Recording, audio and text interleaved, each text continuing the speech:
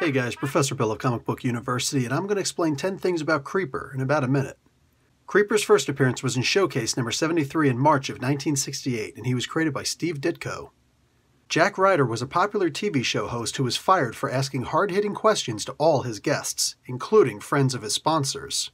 He was hired as an investigator for the network, checking on leads. He attempted to rescue a Dr. Emil Yatz, who had developed a physical enhancement serum. Dr. Yatz injected Jack with the serum when he was stabbed in the rescue attempt. The serum radically enhanced Ryder's strength, agility, and endurance, and greatly enhanced his healing, allowing him to regenerate from automatic machine gun fire at point blank range within moments.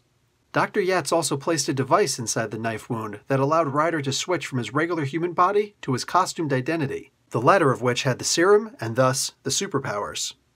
He called his powered form the Creeper, a terrifying character whose laugh rivals the Joker's. While the laugh was originally just meant to distract his enemies, it was eventually revamped by various writers to be a laugh that causes pain and disorientation to those who heard it. The Creeper has been used sparingly in comics and even retconned multiple times, but when he does show up, you know that things are about to get crazy. And that's 10 things about Creeper in about a minute. Thank you.